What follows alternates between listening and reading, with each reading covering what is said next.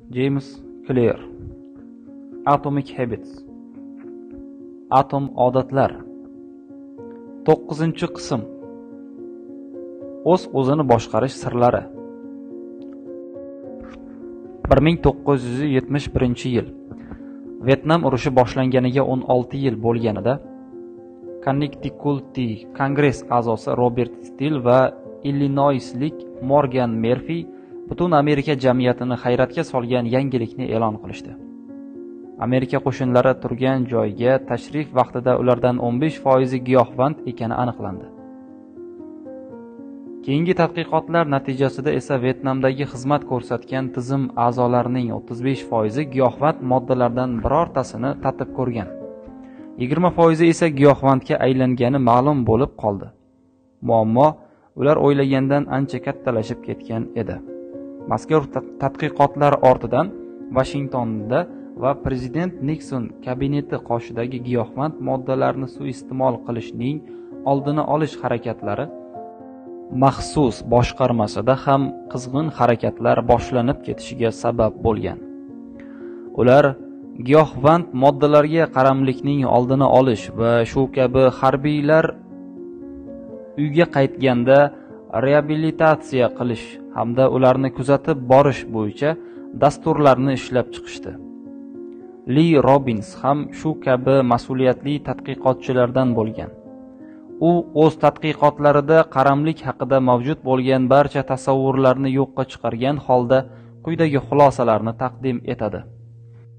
Uyga qaytgan giyohvand harbiylardan faqatgina besh foizida bir yil davomida yana qoradori iste'moli kuzatilgan va o'n ikki foizigina uch yil ichida ushbu mashg'ulotga qaytgan. Boshqacha qilib aytganda vyetnamda giyohvand moddaga ruju qo'ygan har o'nta askardan deyarli to'qqiztasi uyga qaytishi bilanoq undan voz kechgan. Bu xulosa o'sha vaqtlarda giyohvandlikni doimiy va tuzatib bo'lmaydigan kasallik deb hisoblovchi nuqtai nazarni yo'qqa chiqaradi.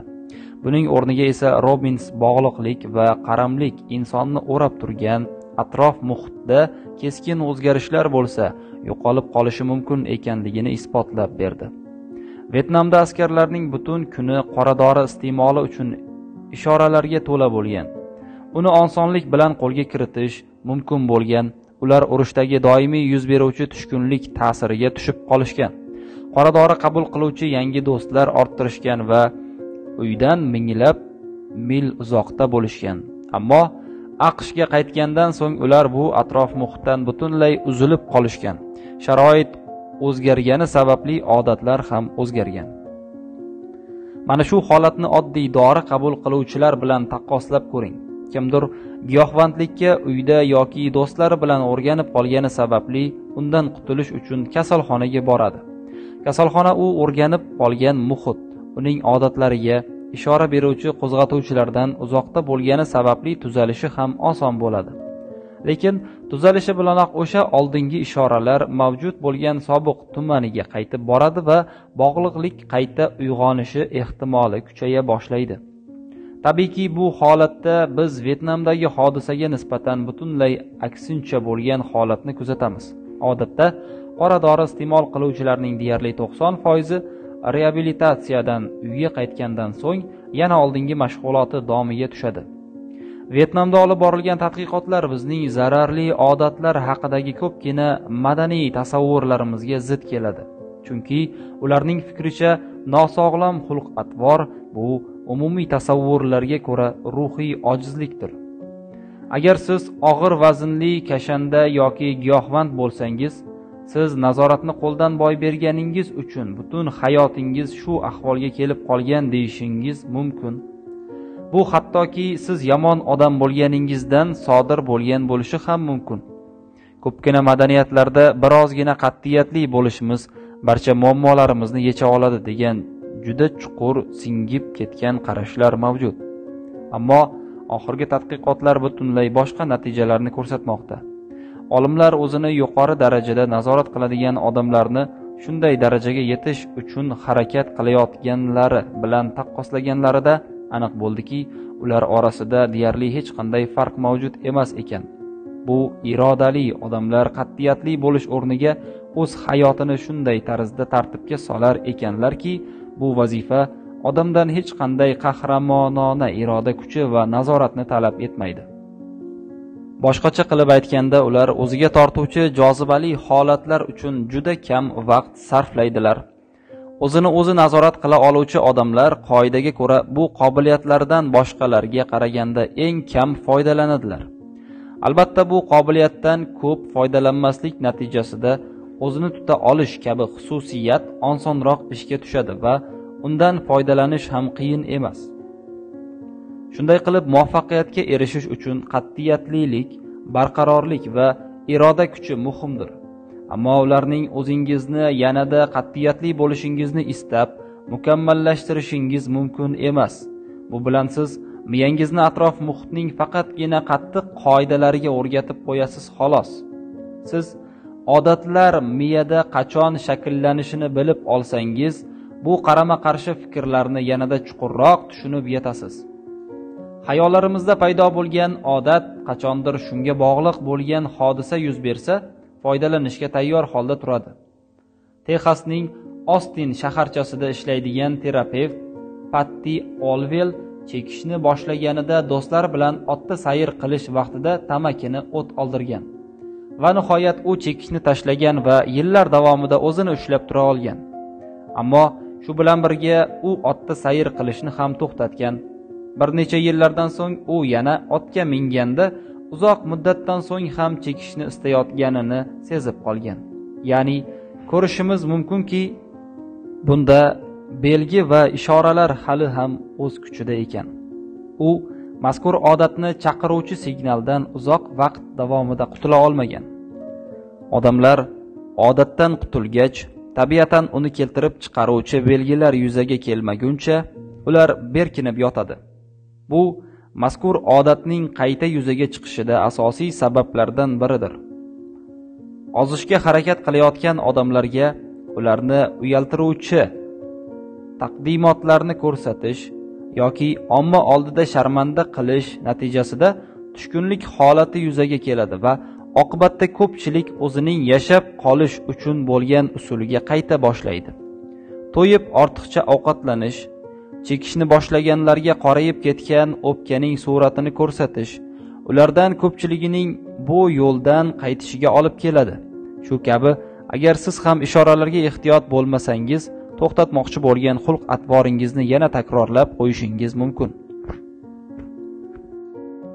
Zararli odatlar avtokatalitik bo'lib hisoblanadi. Ular jarayonning o'zidayoq ishga tushadi.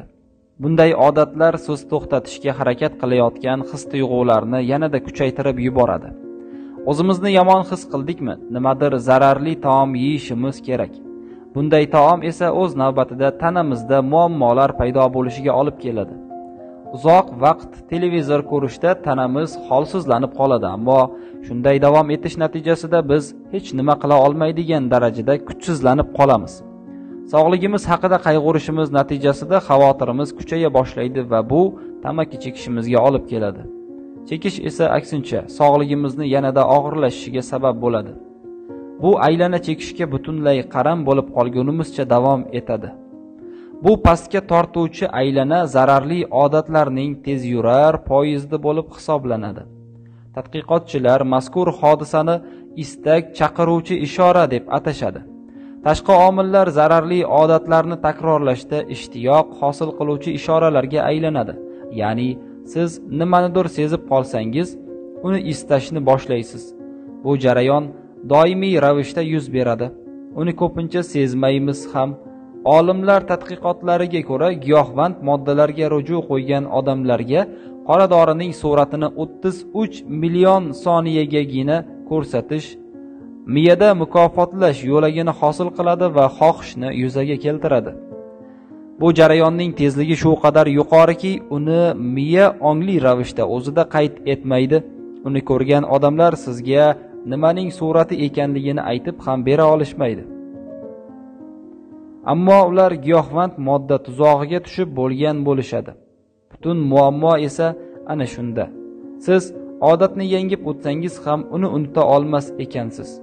Kundalik odatlarimiz miyamizda iz qoldirganidek uzoq vaqt undan foydalanmasak ham odatimizni butunlay o'chirishning imkoniyati deyarli mavjud emas. Bu esa bizning biror odatga oddiygina qarshilik qilishimiz eng samarasiz usul ekanini isbotlab beradi. Tanaffuslarga to'la bo'lgan hayotimizda yoga yoki zen tamoyillarni butunlay barchasini tatbiq etishimiz juda qiyin chunki u bizdan ancha ko'p kuch sarflashimizni talab qiladi. Shu sababli ham qisqa muddatda yengish mumkin bo'lgan ishora va belgilarnigina tanlab olib harakat qilishingiz ham mumkin. Uzoq muddatda esa baribir o'zimiz yashayotgan atrof muhit ta'sir etuvchi natija bo'lib hisoblanadi. Chunki to'g'risini aytsam men zararli odatlar mavjud bo'lgan sharoitda kimdir juda uzoq muddat ijobiy odatlar bilan yashaganini hali ko'rmadim. Har qanday holatda ham zararli illatlardan ularning manbasi bilan birga qutulgan to'g'ri hisoblanadi. Yomon odatlarni yo'qotishning eng ko'p qo'llaniluvchi usullaridan yana biri uni chaqiruvchi ishoralar va ularning ta'sirini pasaytirishdir. Masalan agar siz ishingiz hech oldinga siljimayotganini ko'rsangiz shunchaki telefoningizni bir necha soatga boshqa xonaga qo'yib qo'ying.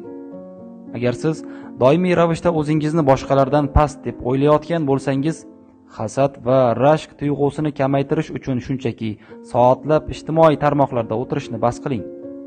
Agar siz juda ko'p vaqtingizni televizor qarshisida o'tkazsangiz uni yotoqxonadan boshqa xonaga joylashtiring pulingizni asosan elektronika mahsulotlariga sarflayapsizmi? Texnika sohasiga oid bo'lgan yangiliklarni o'qish va eshitishni yig'ishtiring. Agar siz video o'yinlarga ko'p vaqt sarflayotgan bo'lsangiz har safar o'yin o'ynab bo'lganingizdan keyin kabelni uzib uni shkafga joylashtirib qo'ying. Bu mashqlar xulq atvorni o'zgartirishning birinchi aks qoidasidir. Aniqlashtirish qiyin bo'lyaptimi? Demak undan ko'ra shu odatingizni chaqirayotgan ishoralarni ko'zingiz va qo'lingizdan uzoqroqqa olib qo'ying. Men doimo shunday oddiygina o'zgarishlar katta samara berishidan hayratlanaman. Birgina ishorani yo'qoting va butun odat chetga surilib chiqib ketadi. O'zini o'zi nazorat qilish esa qisqa muddatli usullardan bo'lib uzoq muddatga bardosh bera olmaydi. Siz ishtiyoqingizga bir ikki marta chap berishingiz mumkin ammo har safar uni to'xtatishga qurbingiz yetmasligi aniq. Atrofingizdagi hech narsani o'zgartirmasdan har safar iroda kuchi bilan o'zingizni zararli odatlardan to'xtataverishdan ko'ra shunchaki hayotingizni o'zingizga qulay qilib oling. Mana bu qoida o'zini nazorat qilishning sirlaridan biridir. Yaxshi odatlaringizni chaqiruvchi ishoralarni aniqlashtirib qo'ying va aksincha bo'lganlarini o'zingizdan uzoqlashtiring. Bo'limdan xulosalar. Xulq atvorni o'zgartirishning birinchi aks qoidasi. Uni o'zingizga ko'rinmas qilib qo'ying. Odat shakllandimi uni unutish mumkin emas. O'zini o'zi qattiq nazorat qiluvchi odamlar biror narsaga qarshilik qilishga juda kam vaqt sarflaydilar.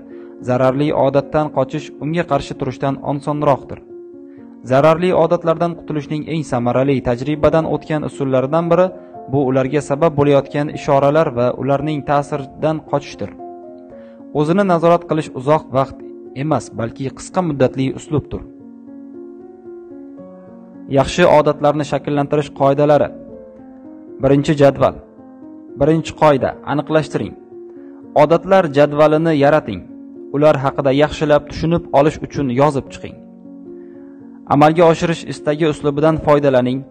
Men falon odatni falon vaqtda falon joyda bajaraman. Odatlar jamlanmasi uslubini ishlating. Men mavjud odatdan keyin yangi odatni bajaraman. O'z muhitingizni yarating. Yaxshi odatlaringiz uchun ishoralarni aniq va ko'rinarli qilib qo'ying.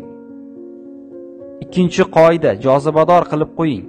Uchinchi qoida osonlashtiring to'rtinchi qoida talab darajasiga yetkazing. Yomon odatlardan qanday qilib qutulish mumkin?